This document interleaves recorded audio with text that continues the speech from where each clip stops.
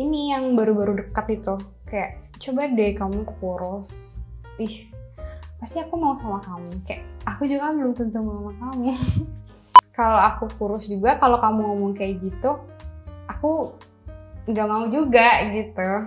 Gitu. Fisik kan banyak yang lebih cakep gitu. Tapi kalau pribadi lo sesombong itu gue nggak mau juga. Gue sombong banget sih kalau ngomong kayak coba deh kamu kurus pasti aku mau ya nggak mau juga kita nggak mau juga kita sumpah cari yang lain aja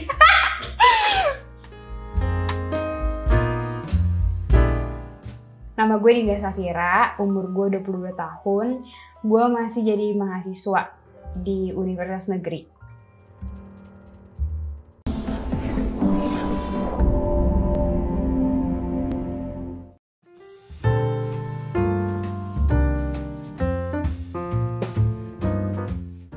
Pernah, waktu itu gue pernah sempat insecure ya kayak gila gue gendut banget gitu loh. Gue kayaknya nggak pakai pakai gue pakai baju apa aja nggak bagus deh gitu.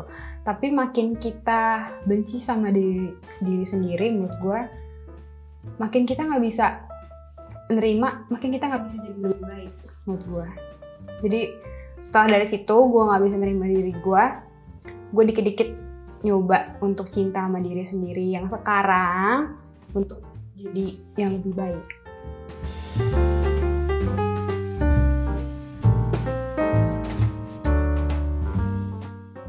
risih atau kesel banget sih? Enggak. Cuman kayak buat apa lo tahu? Buat apa gitu. Cuma kadang kalau dia nanyanya nggak ke banyak waktu hmm. banyak orang sih gue nggak apa-apa ya gitu. Tapi kalau dia nanya cuma mau kayak malu-maluin gue ya nggak gue jawab lah ngapain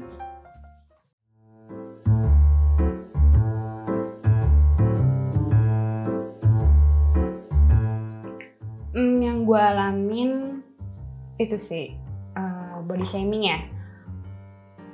Cewek plus itu nggak jauh dari body shaming. Terus orang tuh lebih mudah ngomongin fisik kita. Menurut gue itu sih.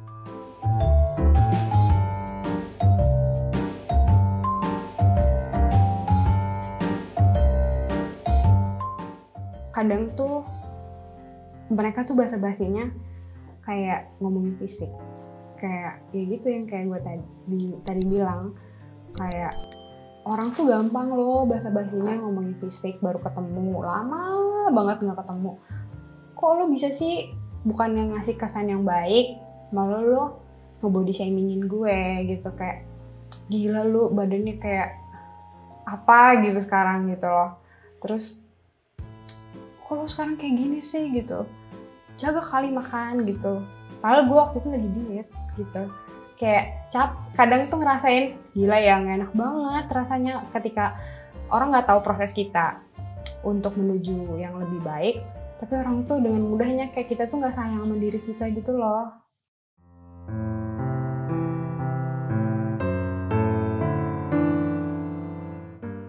pernah banget. Waktu itu kan gue berat badan gue lagi ideal terus tiba-tiba gue menggendut. Terus kayak orang tuh tiap ketemu responnya ke gue ih kok lo gendut banget sekarang? Gitu. Rasanya sih awal-awal kayak gue dulu-dulu ya banget ya gue kayak bete bisa bete. Terus kayak demi apa sih insecure? Insecure gitu tapi sekarang lebih ke udah deh eh, nggak uh, usah. Gue nge apa ya ngebiarin orang itu kayak gitu tanpa harus gue baper menurut gue. Karena mulut orang nggak bisa dikontrol.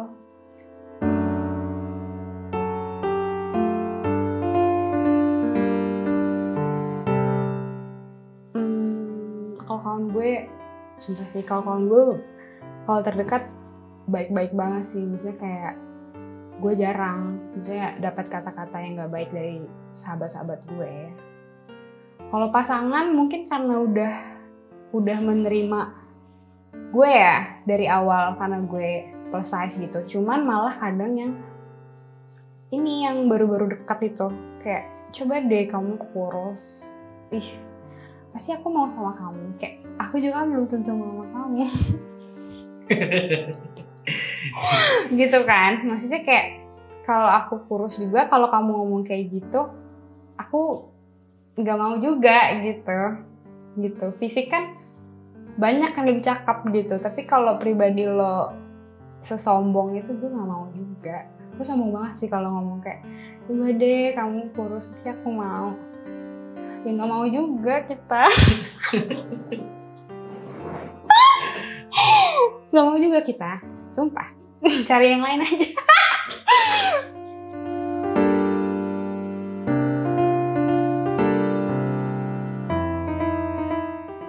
Enggak.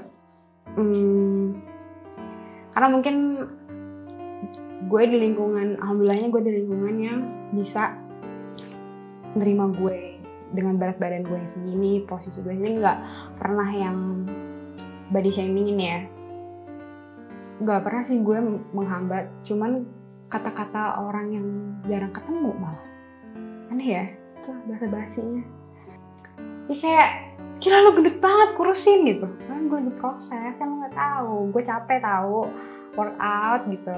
Gue gue pengen gila kurus juga. Misalnya gue pengen juga ideal gitu loh Lagian gue mindset gue juga tahu kok kalau gendut itu nggak selamanya sehat gitu. Lo nggak harus basa-basi kayak gitu kan kita jarang ketemu gitu.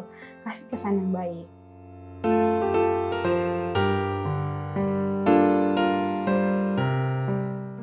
Enggak.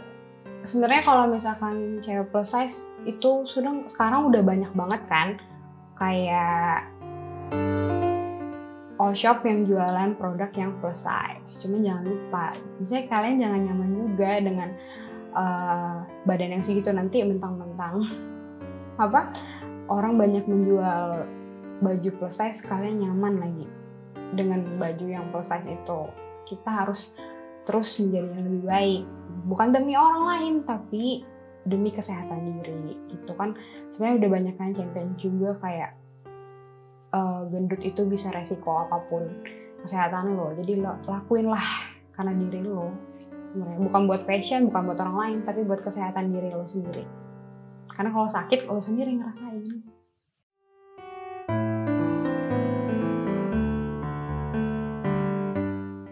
Jaga mulut jaga kata-kata. Kan bukan untuk ini doang ya bukan untuk cewek plus size doang. Tapi untuk siapa pun yang mungkin dipikir-pikir lagi kalau ngomong karena kita nggak tahu gitu loh apa perasaan orang yang di depan kita. Entah lagi mikirin apa struggle apa kalau lo tambah buat dia stres gimana dia mau jadi diri dia gimana dia mau semangat untuk jadi diri dia yang lebih baik kalau lo malah buat dia stres gitu loh ketika dari semangat semangatnya terus lo bilang gendut loh gitu. Gimana dia mau happy gitu loh. Saat lo melakukan penurunan berat badan juga kan harus happy gitu loh. Badan juga nggak boleh stres gitu. Jadi menurut gue jaga omongan lo nggak tahu seberapa usaha dia lo nggak tahu struggle-nya dia gitu loh. Gimana dia tadinya nggak nerima diri dia yang plus size terus bisa jadi nerima diri dia yang udah jadi nerima diri dia sendiri terus lo ini lo bully aja gitu. Ya udah bangun-bangun self love terus lo bully dia bisa lo down lagi gitu. Ini lo kasih semangat kayak yuk lo olahraga aja yuk gitu. Dibanding lo harus ngomong body shamingin waktu ketemu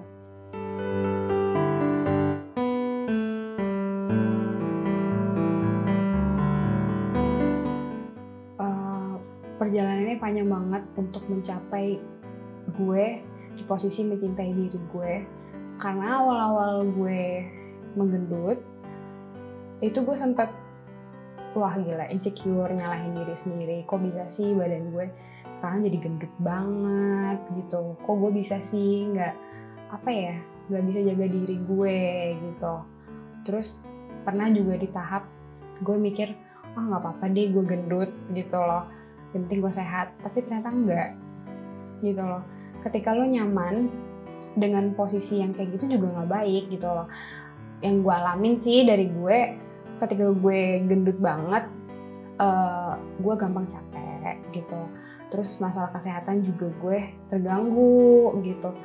Jadi dari situ gue mikir oh nggak baik juga kayak gini gitu loh. Akhirnya uh, proses gue mencintai diri adalah ketika gue berusaha untuk membalikan berat badan ideal gue lagi udahnya dengan cara gue jaga pola makan yang sehat terus gue ngurangi makan yang manis terus gue olahraga. Itu sih bentuk gue cinta diri gue sekarang.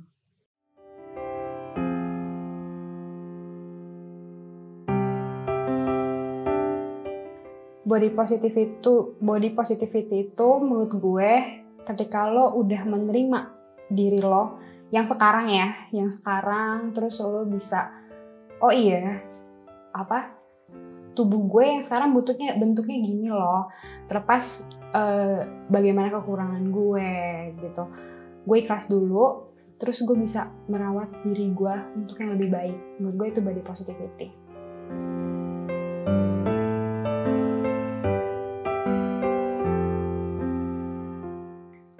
perempuan cantik menurut gue adalah ketika dia ngaca, dia bisa nerima, oh iya kekurangan gue ini. Tapi dia tidak lupa kelebihan dia. Gue dia tetap berharga dengan segala kekurangan dia. Menurut gue. Terus ketika dia ngaca, oh iya gue bisa loh meminimal, meminimalisirin kekurangannya. Terus uh, kelebihannya dia tonjolin. Gitu loh. Dia jadi best version of herself. Menurut gue itu. Itu menurut gue cewek cantik itu yang dia tahu kekurangannya terus dia nerima diri terus dia mau jadi diri yang lebih baik. Terus menurut gue itu.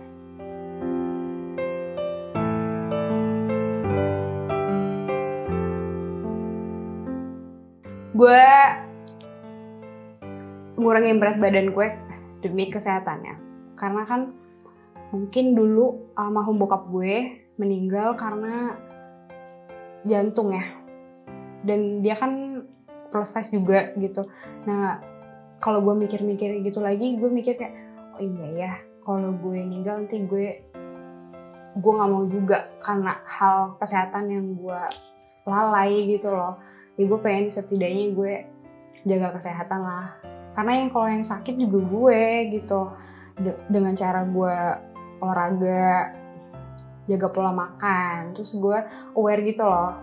Oh iya nih gue keturunan gue banyak yang diabetes ya dari sekarang gue udah mulai ngurangin gula gitu.